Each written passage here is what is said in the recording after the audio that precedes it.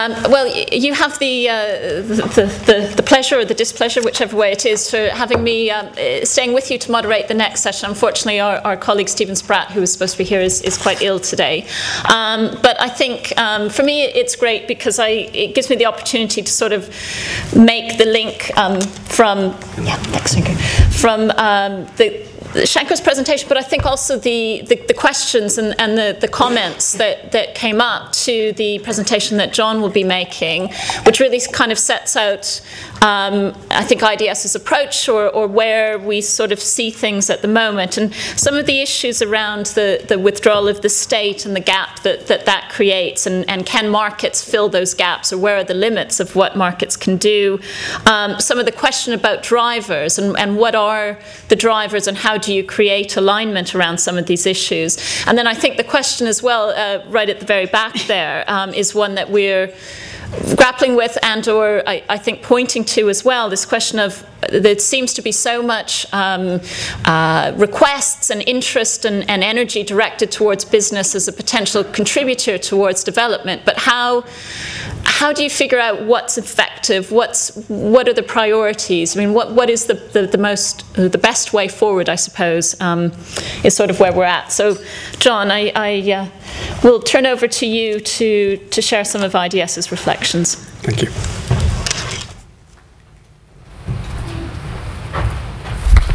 Well, good afternoon again, everybody. Um, it's a rather difficult act to follow, but um, I'll do my best. And, uh, and I think uh, Jodie is correct to say that there's quite a lot of overlap between some of the issues that emerged in Shankar Venkateswaran's um, session and the things, the thoughts that we've been having uh, within the Business and uh, Development uh, Centre at IDS. And, and the first thing to note is, of course, that business and development is uh, highly fashionable at the moment. Uh, there's quite a lot of activity and excitement around thinking about how businesses might contribute to development, mobilizing uh, business resources. Um, Justine Greening, for example, just uh, a couple of weeks ago was at the London Stock Exchange uh, talking about focusing on business and seeing business as the driver of economic development, which would be the driver of progress on achievement of the multiple development objectives. Um, at Davos um, earlier this year, um, the UN Secretary General, Ban Ki moon, um, cited the forthcoming uh, UN climate change summit in September as an opportunity for businesses to quote show what they can what they can do uh, and to work with governments at the highest level to address climate change. So again, a big global issue, um, the subject you know of, of central interest to development agencies and governments around the world, and the president, uh, the Secretary General of the UN is emphasising that business has got a chance to step up and show uh, what it can do. And in fact, there's a plethora of initiatives um, uh, by development agencies that seek to engage business in uh, um, addressing an equally broad range of uh, development objectives, from hunger to climate change to the green economy uh, to health and, and many other areas, as well as the, the, the core uh, question of economic development and economic growth. And it's also worth noting that the kind of businesses that development actors appeal to when they're thinking about business and development initiatives are also extremely diverse. So sometimes it's informal sector, sometimes it's large multinational companies, sometimes it's uh, small scale finance, sometimes it's domestic companies. The business itself is a category that includes, can be very, very broad. And if one, one can uh, you know, draw this category in different ways. Um, and I think also, as, uh, as has come up already in the first session, we have increasingly the issue of businesses from the OECD countries and businesses from the BRICS and businesses from other rising powers around the world. That the business, what is a business, and which businesses might be key actors in development, itself, itself is changing uh, very rapidly. Um, I think also although I've talked about businesses and um, uh, sorry, development, what development wants from business, we also see, and I think again it was reflected in uh, Shankar's um, uh, presentation, that the action is not all on the side of development agencies. Businesses too are making commitments to, uh, to principles of conduct, uh, to collaborating with development actors, to being aware of the development impact and the development potential of all the many activities that they do as part of their core business. And so we have not only development with expectations about business, we have businesses sometimes under external pressure, but also, as again, as Shankar was saying, under internal. Uh, internal pressure or internal drivers thinking about uh, more, perhaps more than in the past, about their development impact and their development responsibilities. So at one level, that sounds wonderful, doesn't it? You know, lots, lots of business, lots of development, lots of interaction, lots of new thinking. The problem is, and again, it's a problem that was flagged up in the previous session, is that so many different initiatives, so many different actors, that we get a lot of confusion.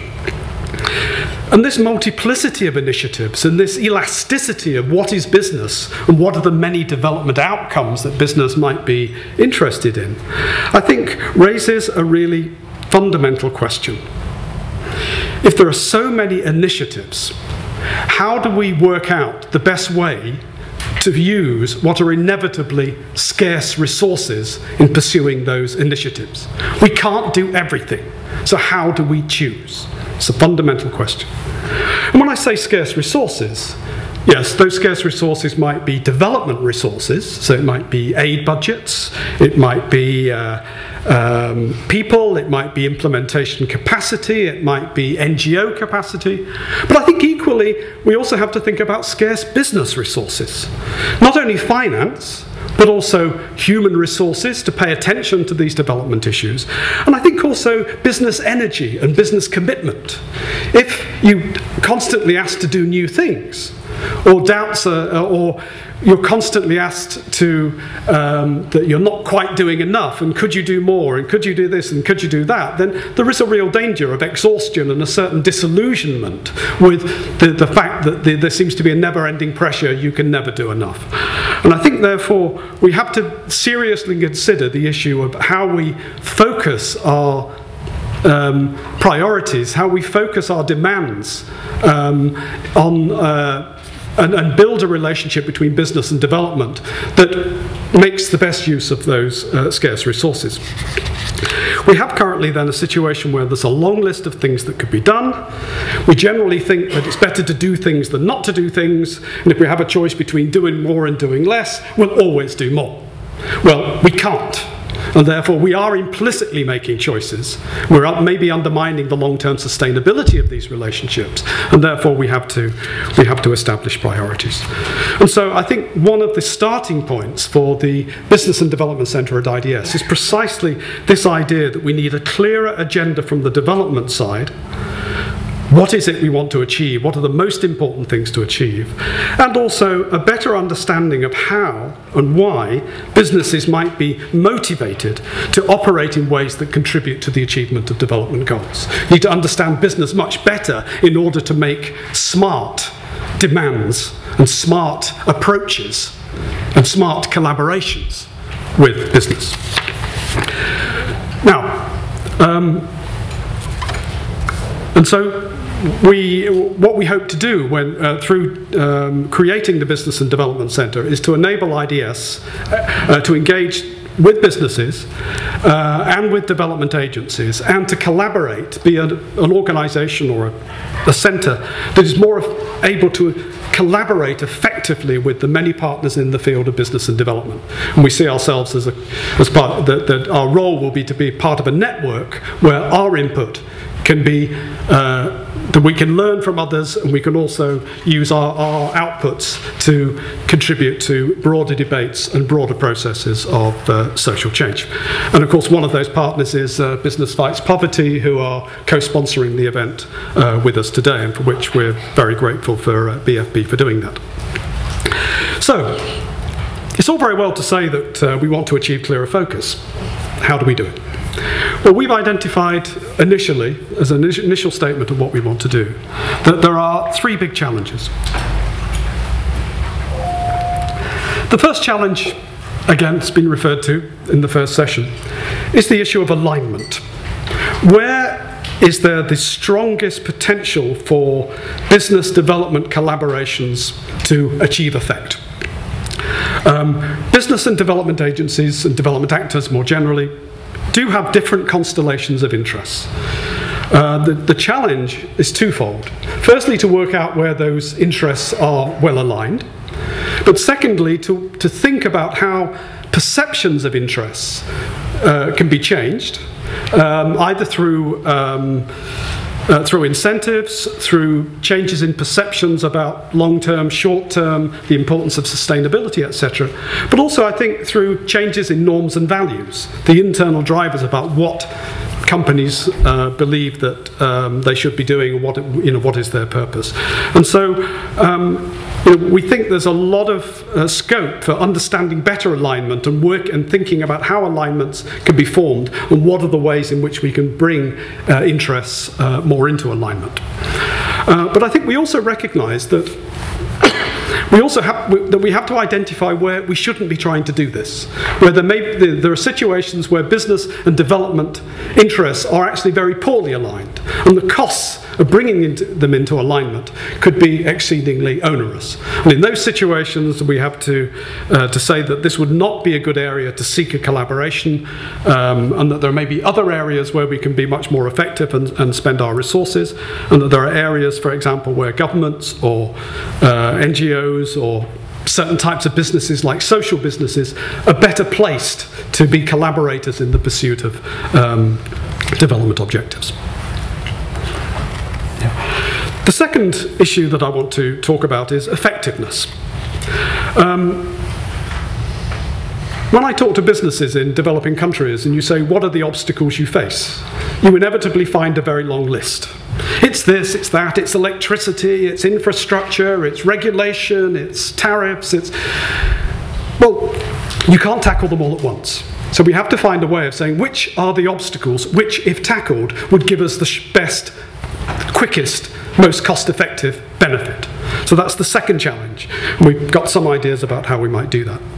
The third challenge is to say that we have a lot of business initiatives, we have a lot of um, pilots, um, uh, we have uh, interventions, but how do we get enduring development impact at scale? And that's partly a scaling up issue, and it's partly a, um, an issue around driving systemic change. So it's about seeing how we can use business and development collaborations to transform the environment in which business operates so that one intervention has benefits for a much wider range of firms. Right. So they're the kind of they're, they're the three priorities that we have in the short term for the work of the Business and Development Centre. Um, alignments, effectiveness and uh, deep, deep change or uh, increasing the, the impact. We think that these interests are better established at the um, sectoral level because the, the, challenges that businesses face are uh, vary considerably across and within sectors. And so I just want to illustrate that by looking at two examples where we, how we might approach the issue of these, the, these issues at a sectoral level. The first is food and nutrition. Uh, we've been working on business food and nutrition now for two or three years, uh, particularly focusing on micronutrient deficiencies. And we draw the following lessons.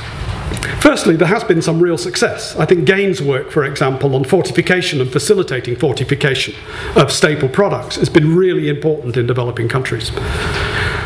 But we also note that, firstly, a lot of initiatives around food and nutrition want to um, focus on producing more food, producing more nutritious food.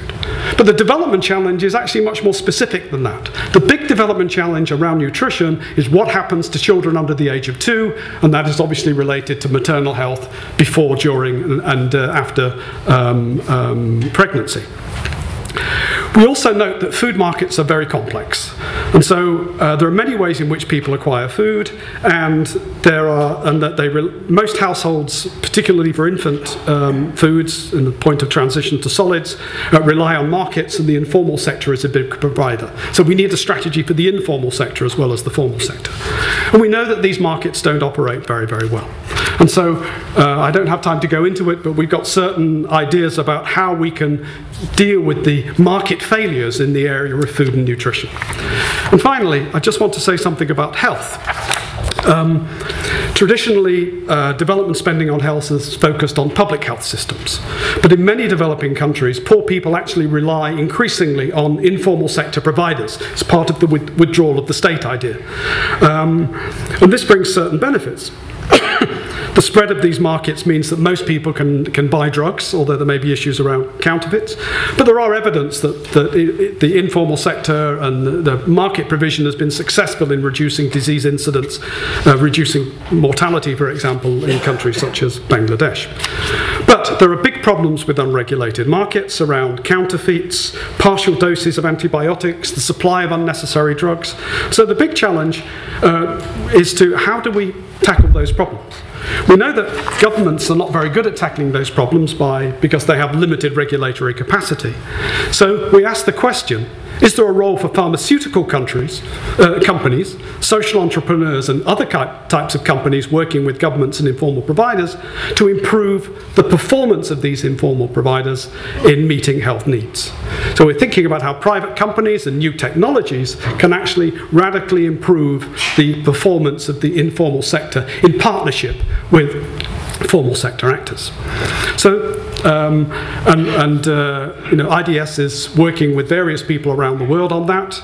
I just want to mention that uh, some people from IDS will be going to uh, Rio next week uh, to talk about the green transformation. It's part of the BRICS Academic Forum, which is related to the, the, BRICS, uh, the BRICS meeting in, uh, in, in Brazil later this year. And so we're building up collaborations with developing countries, both the, the BRICS and, um, and the, the, the, the less developed countries, to explore explore precisely these types of issues. So to conclude, I, I, would say that we're very excited about the opportunities for looking at business and development and what the Business and Development Centre can create. From the feedback we've had already from both development agencies and business, we think that the challenges we identify resonate with both business and practitioner audiences, and we want to engage and work with others in the field, such as Business Fights Poverty, to take uh, this agenda forward. We also want to hear from you. Um, so we're going to ask you, we're going to have some table activity uh, in a few minutes, but I think first we might have one or two questions. Yeah. Is that right? Yeah. So yeah, that's right. What we'll do, we'll do one round of, of questions and comments just on, on John's presentation and, and on some of the thinking from IDS. And obviously we're really keen to hear from you, um, you know, uh, your reflections, because I think that really enriches our thinking. Um, but in addition to, to doing a few minutes of, of, questions, what we had wanted to do is give you an opportunity to reflect with others on your table from the first two presentations and then uh, we're going to uh, set you one task which is, is to help us in our job and uh, sort of comment on some of the, the, pressing questions you see around this agenda. But um, first, can I uh, open the floor for a round of comments or questions on, on what you've heard of John's presentation? There's one here. And then. Hello, my name is Sarah Greenslade and I work for IMA International, a training and consultancy company. Um, I suppose I had some preconceived ideas as to what the event might might discuss, and I was thinking a bit about business and how it interacts in development. And I suppose one thought I had was, well, business needs to just get on with the business of its business in order to generate employment. And that's the ultimate aim, really, isn't it? We all want work and everyone can lift themselves out of poverty themselves. Um, and I just, yeah, just throw that into the mix, really. Great. Thanks. Uh, Christoph Walter, there seems to be lots of consultants in the room. I'm another one. Um, uh, I was uh, curious about your remark, John, um, that, that um, there is a great need for um, using resources, scarce resources, much more effectively, and, and anything from, from finance to attention of businesses and their willingness to actually look at issues. And I think uh, people who've been in business relate to that very much. I was just curious how on earth that would happen in an NGO and, and public sector uh, uh, driven industry or area, and, and how, if you have any, any solutions, any ideas of how such coordination uh, of, of using scarce resources more effectively and better uh, might happen um, in, in, development. So just, just to clarify, Christopher, you're talking about um, coordination between NGOs or, or state and, and, business to, to use resources more effectively? Yes, so I think uh, the, the development sector, uh, in its approach to business, if, if you can kind of compartmentalize these two worlds, but, but then also together. So, you know, what's, what's the way of, because business as such is not a monolithic block either, and there's a lot of competition. Absolutely. Great. Uh, is there, do one more question just here in the middle. Um, hi, my name's Alison Griffith um, from an NGO called Practical Action. Um, it's, it's, a comment, really, um, and it was uh, to say um, thank you, John, for mentioning um, systems change uh, with the the focus of the event being largely on business and how business objectives and development objectives align.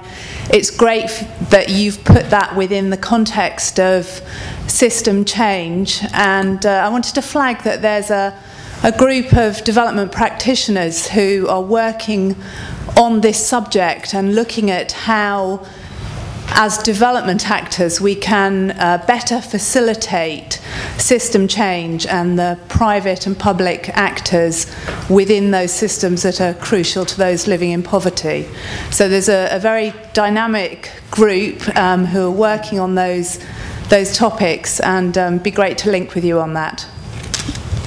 Great, thanks. That's a, a great suggestion, and uh, maybe there'll be some further thoughts on that in, in your table discussion. But I'll, I'll turn it over to John. Okay, um, thanks for those questions. Um, I'll deal with them in the order that they were raised. Um, so the first question was, well, why doesn't business just get on with doing what it does, which is create employment and incomes?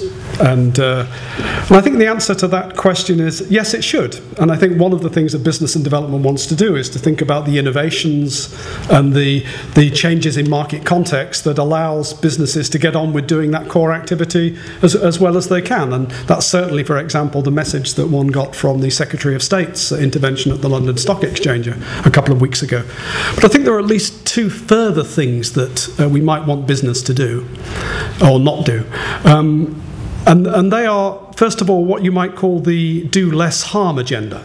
That there are businesses working in market situations where there are externalities. That's to say that businesses do things that impact on people outside of their business for which they don't have to pay the costs. The costs are external to the business. So you get bad effects or, or non optimal effects, well, cuts in social total welfare that are not uh, then do not weigh upon the business itself.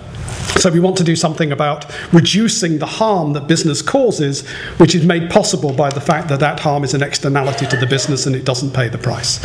And that's the, and in a sense, we know that businesses are very, very interested in doing that as well. Otherwise, we wouldn't have businesses paying so much, uh, putting so much uh, many resources into things like um, uh, the development of standards and um, you know the uh, principles of, of behaviour. So this is not just a development agenda. This is also a business agenda about a level playing field, about making sure, as uh, again as uh, Shankar was saying, one of the problems is if you do something and your competitors don't, then you may be at a disadvantage. Well, standards is you know one way of generalising the, the the obligation. So we want businesses to do less harm, and I think that is also a business agenda. But we also want businesses to do more good. So, for example, if we say on the nutrition side that businesses can, you know, they're food companies and they're producing a lot of food, we say, well, yeah, but there is this big development problem that, you know, children between the ages of zero and two suffer from massive lifelong changing uh, consequences of malnutrition. Can businesses do something to help us there? And it may be that that's not a really simple thing to do you know, in terms of targeting, in terms of the um, uh, the, the, problems of um, um, selling products that are very difficult for consumers to, uh, to evaluate and understand, um, uh, where consumers may have low um, nutritional uh, awareness and information.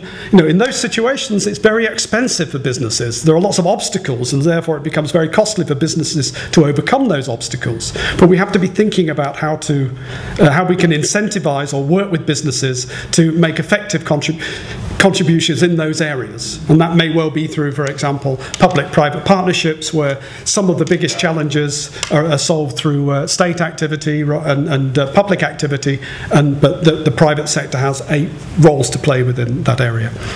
And finally, just on um, systems change, yes, I think we are very interested in systems change. It's fairly central to the way that we, we wrote our initial paper on how we view business and development. And one way of thinking about the need for systems change is to say that all businesses are situated within a business ecosystem.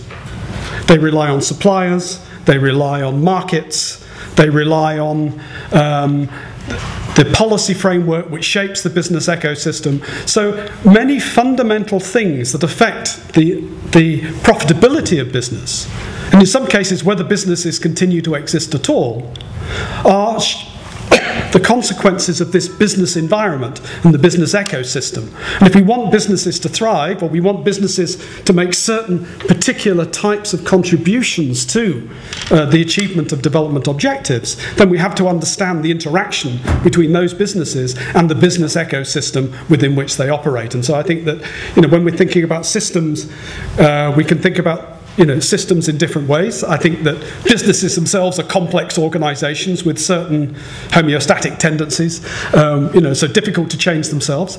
Um, but so, but I think so. I think we can sort of think about these systems thinking and the need for system, uh, system change at a number of different levels relevant to the business and development agenda. Thank you. Ah, sorry, I didn't. I skipped from the first question to the third. Let me briefly say Yes, so uh, it's a good question. Um, we, want, we want people to focus. How do we do it? I think there are two stages in this. Um, firstly, I think we have to identify the areas that are of most benefit, where we get the biggest effect. And uh, we, we're going to be working with an idea taken from growth economics around binding constraints as a way of identifying those constraints which, if removed, would have the biggest uh, positive impact. Now, that merely tells us that it would be nice if people focused. How do we get them to focus? Well, I don't think we're going to achieve that overnight. I think that's one of our long term goals. Um, but I think one thing we might want to do is to work with particular agencies and ask those agencies whether they themselves, rather than think development as a whole, whether they themselves can focus their activities more effectively. When I read the 2011 DFID paper on private sector development and, and counted 40 different initiatives that were in the document, around 40 anyway, quite a, quite a large number, uh, all possible imaginable different types. And I think you know one might want to say, well, you know, can we focus those down? Can we decide which of those initiatives are really central? Which of those initiatives should we be focusing on? And which are quite nice but not necessarily a priority? So maybe the first step is to say, can we at the individual agency level become more focused and then think about where we move uh, after that? Thank you.